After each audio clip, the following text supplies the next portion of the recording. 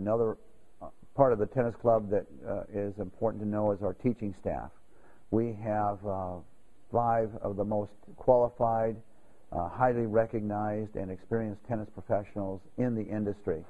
Robin Ray, who was the director of tennis for 30 years at the Newport Beach Marriott, is a part-time tennis pro here.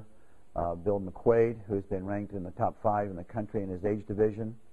Uh, Dick Bohrnstedt, who was uh, CIF Football Player of the Year and CIF Singles Tennis Champion before he attended USC, where he was a four-time All-American before playing on the tennis tour, has been here for 10 years.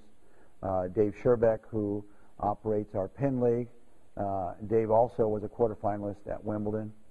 And our head pro and, and director of tennis is Robert Van't Hof. Robert uh, uh, started with me as a young boy. He was uh, 12 years old and had been playing tennis in uh, Long Beach, where I formerly taught. And uh, Robert became an outstanding junior tennis player and went on to USC.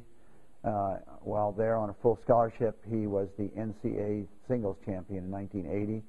He had a very illustrious professional tennis career for 20 years. And then uh, when he retired from tennis playing, he uh, became a teaching and coaching professional. And his first and only position has been here at Palisades, of which I'm very proud.